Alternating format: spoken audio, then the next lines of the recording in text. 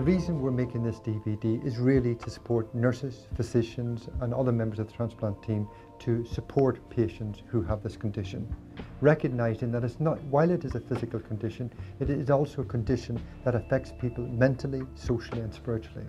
One of the things that is very exciting about this DVD that it is made by nurses and doctors and members of the transplant team for nurses and doctors and members of the transplant team. Once seen as an experimental procedure, stem cell transplantation now offers real hope to people with malignant and non-malignant diseases. In Europe alone, we perform more than 20,000 autologous and allogeneic transplants every year. And the focus now is on developing transplant protocols that would lead to long-term disease-free survival with fewer side effects. One of those side effects is graft versus host disease. So graft versus host disease is a clinical condition that affects many patients that receive an stem cell transplantation. It is a disease that occurs when the graft actually recognizes the host, in this case the patient, as a foreign and practically attack it, reject it. And I think you'll find that a lot of patients that have had transplants, I think a lot of us have felt that you have the transplant and from that point you're going to get better you don't realise there are all these other hundreds of complications that you might suffer from. Um, I think you see the transplant as the beginning of being well again, not the beginning of more complications, which is what it's turned out to be for me.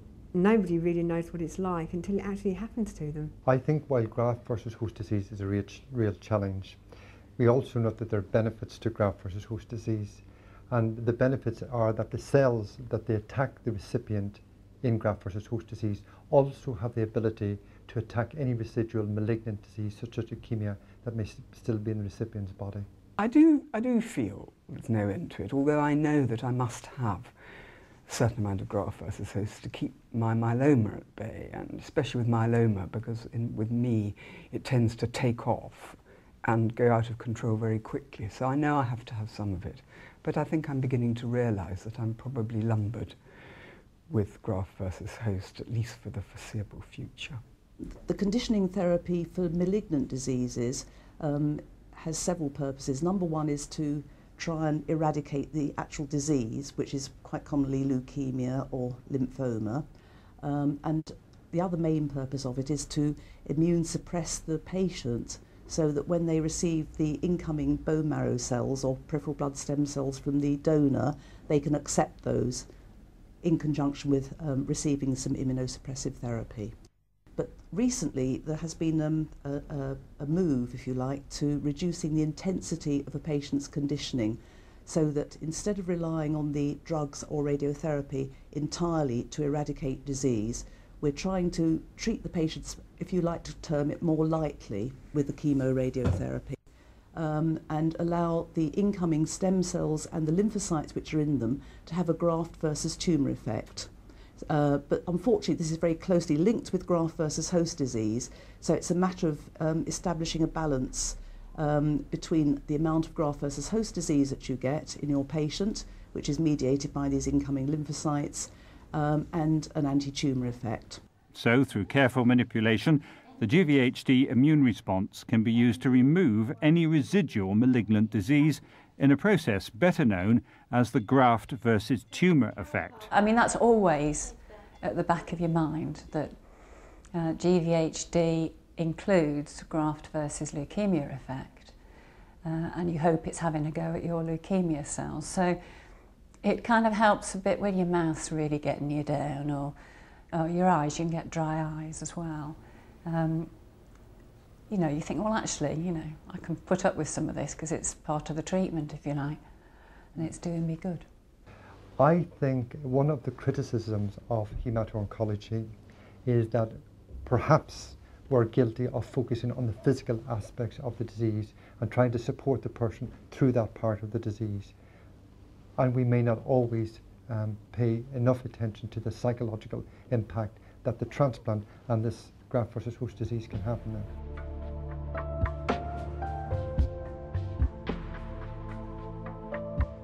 T cells, special white blood cells that recognize foreign matter in the body, have a significant role to play in GVHD.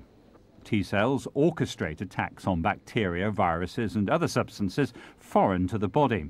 They can also distinguish self from non self human cells, cells that belong to one person's body and those that do not. It's this process that brings about GVHD and the graft versus tumour effect.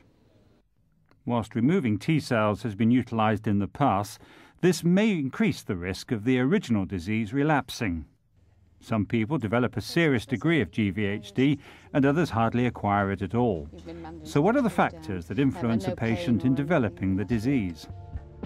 There are both donor and recipient factors. The main um, factor is um, human leukocyte antigen or HLA disparity or sameness between the donor and the recipient.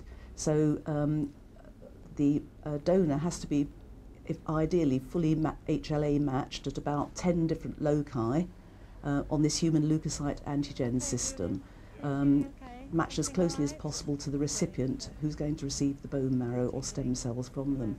Uh, and any um, difference in that uh, HLA typing is liable to promote uh, graft versus host disease in the recipient. So the more similar the donor is to the recipient, the less likely we are to get graft versus host disease.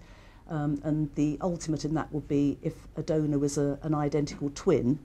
Immune suppression is obviously vital. If, um, if um, a patient did not have immune suppressing drugs given to them when they were receiving the incoming bone marrow, they would, almost, they would probably 100% certainly develop graft versus host disease.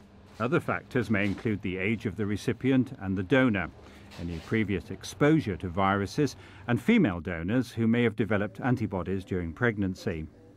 It's also been recognised that those who have received stem cells taken from the umbilical cord are less likely to develop GVHD. Because of the advances in our understanding of the disease and treatments, less intensive conditioning therapy may be used on some patients. Previously, the aim was to completely destroy the recipient's immune system, removing any malignant disease and enabling the incoming donor cells to develop. With less intensive conditioning therapy, the donor cells gradually replace any remaining recipient cells, removing any residual disease. We categorize GVHD as either acute or chronic, depending on how soon after transplant they develop, although sometimes this distinction is not so straightforward. We still refer to acute graft versus host disease as the graft versus host disease that appears in the recipient within 100 days of transplant. However, because of development in transplantations, for example, the conditioning treatment and the conditioning protocols that we use, we are now seeing um, evidence of acute graft versus host disease beyond 100 days. So it's difficult to distinguish when acute graft versus host disease ends and perhaps chronic graft versus host disease begins. Acute GVHD has three phases.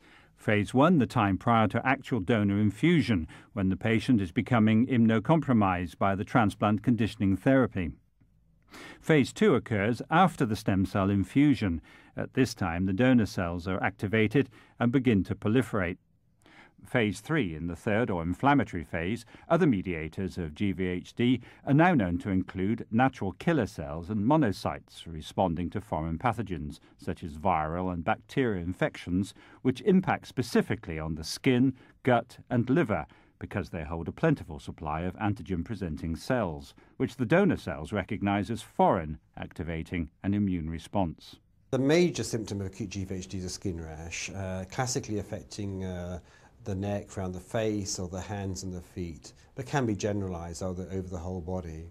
This is normally just a maculopapular, irritating, uh, itchy rash, but it can be uh, widespread, leading to widespread reddening of the skin, erythroderma, and indeed, in severe cases, you get a blistering of the skin as well, hands and feet, and generalized blistering. So that's the commonest manifestation, but then you may get other manifestations, particularly affecting the liver and the bowel. In the liver, um, as a nurse, um, I would be, on a daily basis, I would be monitoring um, the, the, the patient's Uh, liver results. And in cases where graft versus host disease may be suspected, I, I, I might find that the, the liver enzymes are raised.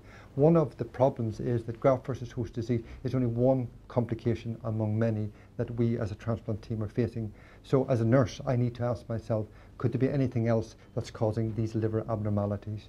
for example, maybe an infection, maybe drug toxicity, or another condition called veno-occlusive disease. Uh, in the GI tract or the gastrointestinal tract, um, as a nurse, I would often see um, a patient maybe complaining of abdominal pain, um, having diarrhea, and um, the diarrhea that's associated with graft versus disease tends to be very watery, um, green in colour. Some people talk about it looking like, a, a, like green jelly. Um, and also uh, the patient can have nausea and